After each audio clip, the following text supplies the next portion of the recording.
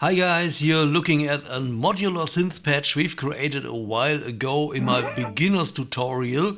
Now I want to add more modules to this patch and dive a little bit deeper into the modular world. And I also will give you a quick overview of this patch, but if you still have no idea what's going on here and no clue, please check out the original videos. There is a long video where I explain really every cable connection in detail. And there's also a super short version in case you don't have much time or just want to refresh your memory. And of course always check out the show notes under the video and leave a comment if you have any questions or if you just want to say hi. But now let me finally start with a quick overview of this patch. Um, this is the host MIDI module, our first module, and we need it in order to grab the MIDI signals that are coming from the DAW and more importantly from my keyboard. And we've also made it polyphonic so that I can play many notes at the same time for a chord for example. And here's also a ADSR envelope for our attack, decay, sustain and release times and two voltage control amplifiers, one and two, because the actual sound comes from two oscillators, oscillator 1 and oscillator 2, the VCO, but the output, uh, saw output in this case of the second oscillator goes into a filter and the low pass filter output goes into our mixer. Here we can mix both our oscillators nicely together. And the stereo out is going into the host audio module, which uh, sends all the audio, all the sound back into the DAW so that we can hear something. And last not least, we have this LFO going on, the low frequency oscillator, which is uh, just modulating and moving the cutoff filter in the VCF. And this is how it sounds so far. And this nice whoosh or wah effect, uh, wah wah, is coming from the LFO and the cutoff filter here. Uh, but that's not what I want to talk about right now. No, let's better talk about um, a little technical problem. I say technical problem, you know, because as an artist, there are no really problems, especially not in a modular system. You can do whatever you want, and the worst thing that can happen is um, that you connect a cable and, and, and nothing happens, or the opposite, uh, that you get a crazy sound you didn't expect, or something like like that.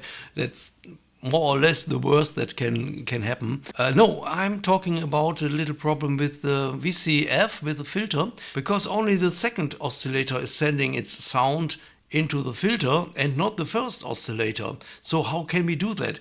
I just could grab this cable here and try to connect it as well, but you see, this doesn't work.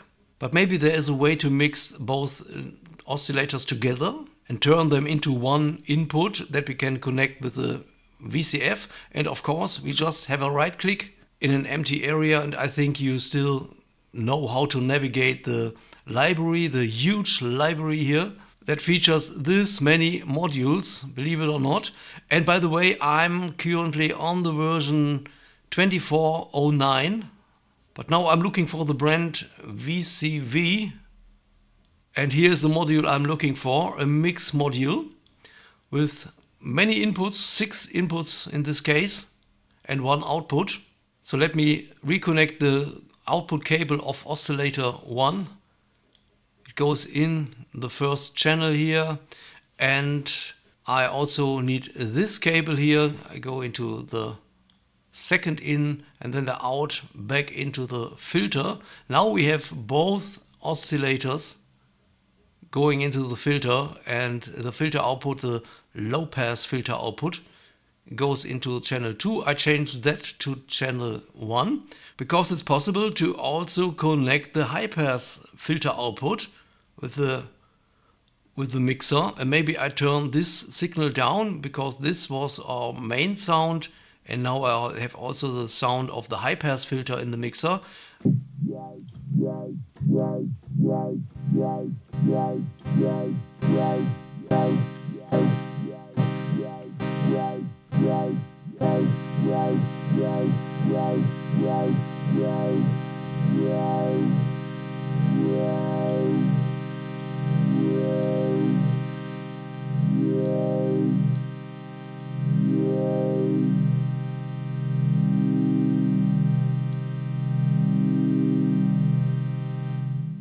So I just changed the frequency of the LFO to make it really slow and also reduce this value here.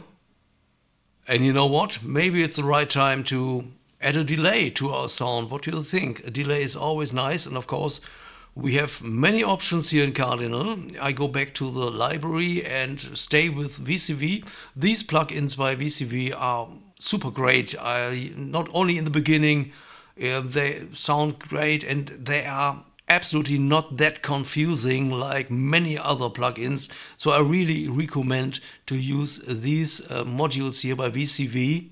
And here it is, a delay. So this delay module has two outputs, the wet output where you only hear the delay and the mix output. And I think we go with this one because it's uh, very familiar. You can see you can change the time of the delay and also the feedback and mix value. This is quite common. But now we are running into the same problem as before, that we have two signals and only one input. so we need, need to do the same trick and add another mix module. And of course you can do that because we are in, in the virtual world and here's everything free, everything is super cheap. But in the real world you would need to pay like 100 bucks for another mix module.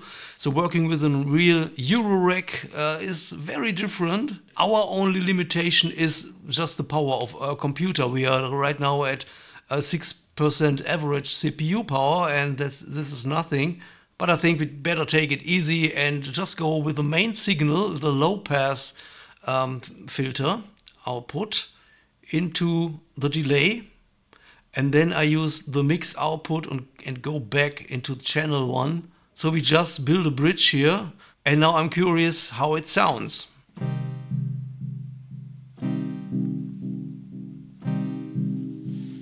Not bad at all, but let me change the ADSR envelope. Maybe I can come up with a cool dub sound or something.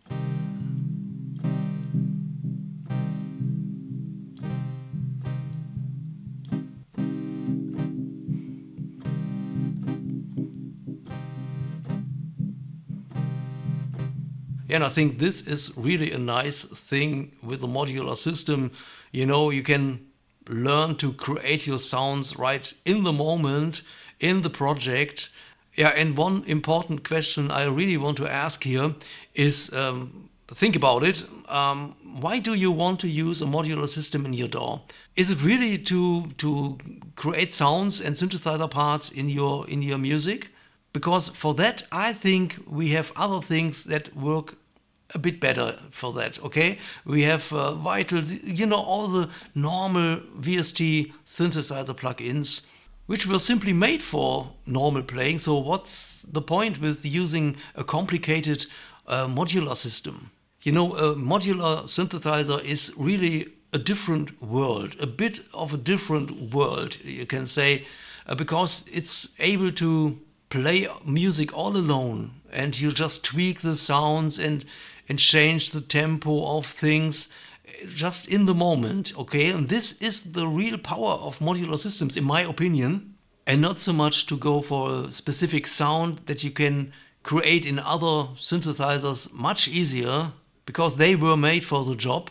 But when it comes to generative music and, uh, you know, self-generating music, that's a thing where a modular synthesizer is really powerful and this is perfect, you know, whether you make um, ambient music, slow ambient music, drone music, or really atonal, hardstyle techno.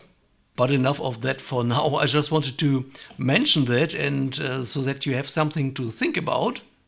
And anyway, no matter what you want to do, I will show you how you can connect Cardinal with your DAW in a way so that it reacts to start and stop and runs in the same tempo like the project in the DAW. And I will also show you how you can let Cardinal run all alone with its own clock. And maybe we start with the last point. For that you need a clock generator. Uh, go into the library, reset the filters and look for a clock generator.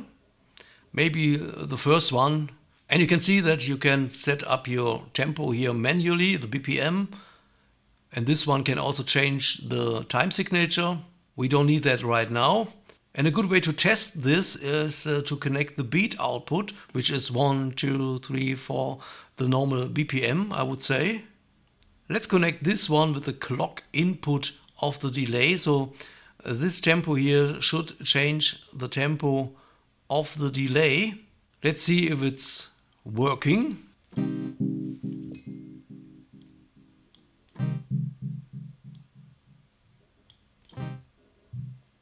Absolutely.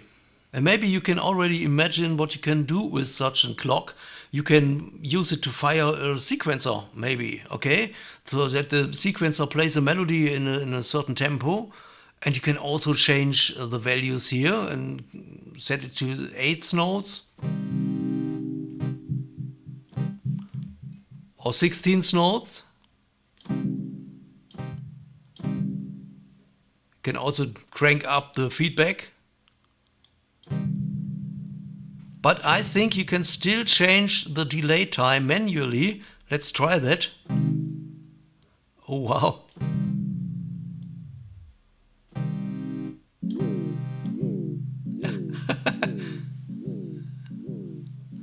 yeah, that was quite funny and cool, I think, but just let's reset the time button here with a double click. Okay, and now we are back to the original tempo. But okay, I get it. You want to sync cardinal with your DAW, with the tempo of the DAW, which is in this case 108 BPM. How can we do that? Yes, you guessed it right, with another module. Reset filters again and go to brand. DISTRHO, this is the company that, uh, or the group of people uh, that um, develops Cardinal. So they provide us with some very basic and super important stuff here. And we're looking for the host time module. And you can see it's uh, really time related here. It uh, shows you the timestamp and also the bar number and position in the bar. Let's just start my project here. I have a little drum beat going on.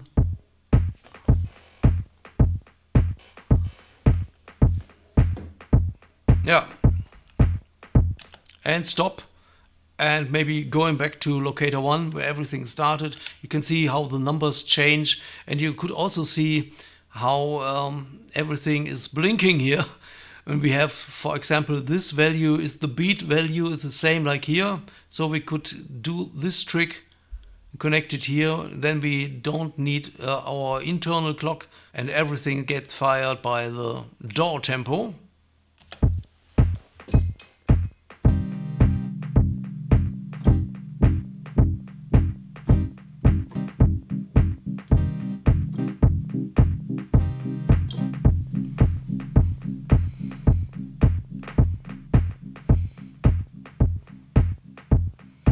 Can also change this to step. Step means it's 16th note in this case, I guess.